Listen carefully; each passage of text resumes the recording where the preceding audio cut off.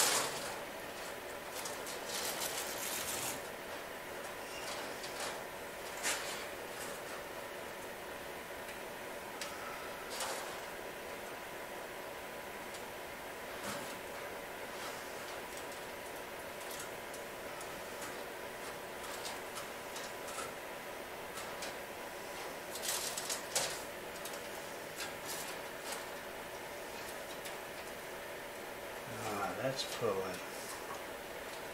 That's pulling all of that off.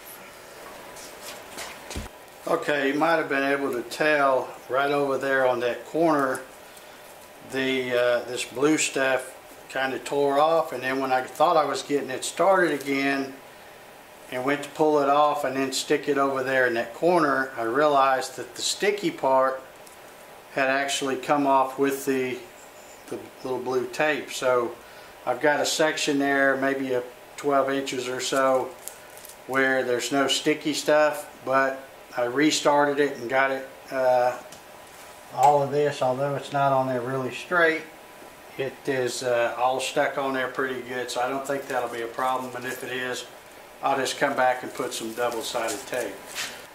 Okay, I put some, uh, another red and black wire attached to uh, what came on this because it was only about that long. And I've run it down through this hole right here where the wires go from the controller. And I tied it into the 24 volts right here. I'll put some pictures up here to show uh, that little terminal block that I tied into. And I did check it with my meter before I uh, wired that up to make sure I got it right. But it's like they just have a 24 volt positive and negative coming down with that little terminal block uh, and then making it where they can run some other 24 volt things off of that. So easy to tie that in and now the moment of truth. Let's see, uh, let's see if it's going to work.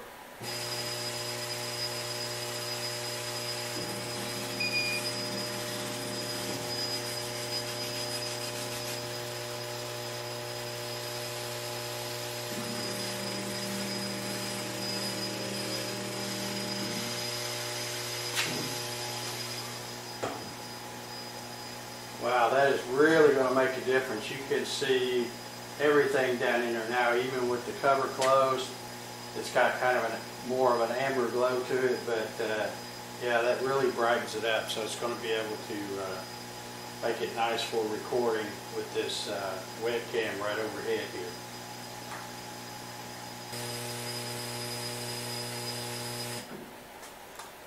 Man, what a difference a little lighting makes, huh?